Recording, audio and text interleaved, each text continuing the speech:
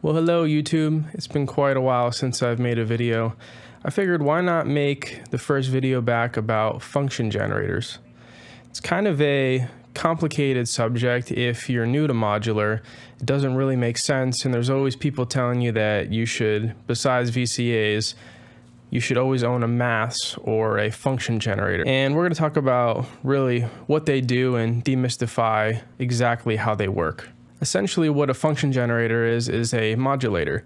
It can send out LFOs, envelopes, gates, but it does it in a different way than most envelope generators or LFOs. What's unique about a function generator is you can control the rise and fall of the envelope or the LFO, and you can also have a gate sent out in the beginning of those envelopes or at the end of the envelope. And I'll get more in the depth of what that exactly means. But essentially, you can send out modulation and send out gates that will trigger other types of modulation or other things in your system. So not only can it send out modulation, it can also be a VCO. Some of them, like here, the Contour 1, which we're going to be showing a lot of. Get a clear shot of that. Um, this one in particular can be a VCO because it can run at audio rate and then you can uh, put a one volt per octave sequence into it and it'll track it. So really there is a ton of things a function generator can do. I'm just gonna go over really the basics of them and show you a couple patches. So let's get into them. Function generators, what do they do? They send out signals, which modular, basically, that's all it is different voltages that can go higher, lower, or stay the same. And that's essentially what a function generator or slew limiter does. You have a rise and fall. So this is your rise with this slider. This is the fall with this slider. And you're controlling the signal with those two basically. Then you have bend knobs here on contour one, which are going to control the type of signal you're sending out or the type of envelope. If you're sending out envelopes, it would be a uh, exponential signal, logarithmic in the middle. I'm sorry, linear in the middle, and logarithmic to the right. And what's cool about Contour 1 is you can control the rise with that bend and the fall with this bend. So in this particular patch, what I have going on is filter 8 is my oscillator turn up the resonance, and that's going into my VCA.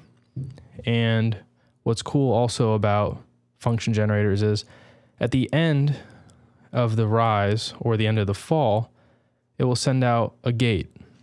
And with this certain patch here, the rise and fall I have going, and that's to basically that the end of rise right here is to send out a gate and it's to clock my sequencer. So I also have the output, so that signal of that rise and fall is going to open my VCA. So I'm using it as the clock source and as a uh, envelope generator. So that's what's pretty unique about function generators is I can get a lot of stuff done with just this one little module. So check it out. I also have the end of the chain going to Mimeophon.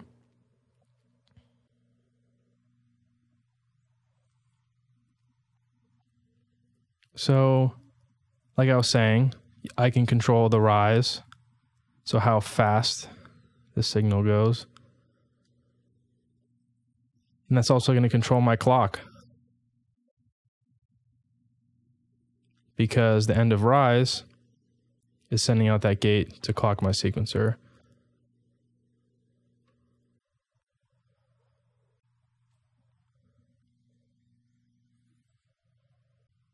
And then you can also mess with, like I said, the bend, which is now this is a uh, exponential rise.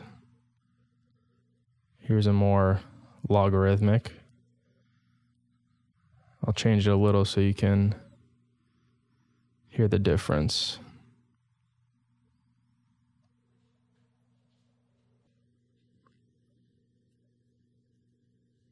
I have a long fall now, but when I turn that fall down, the clock's going to go faster.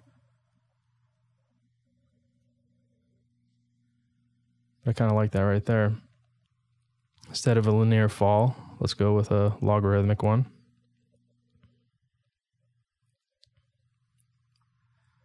Or why not make it exponential also?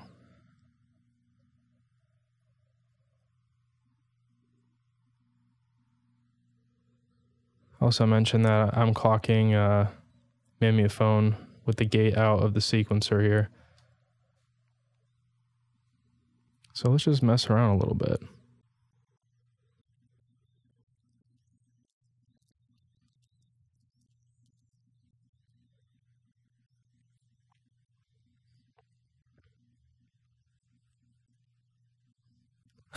Very cool.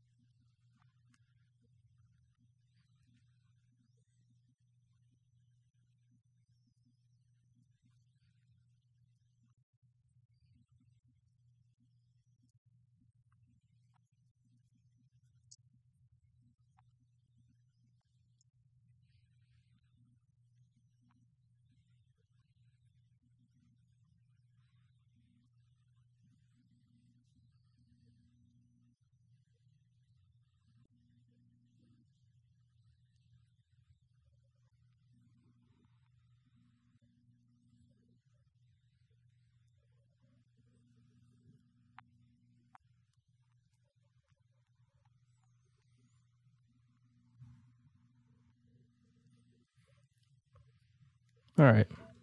I think that's enough for this patch.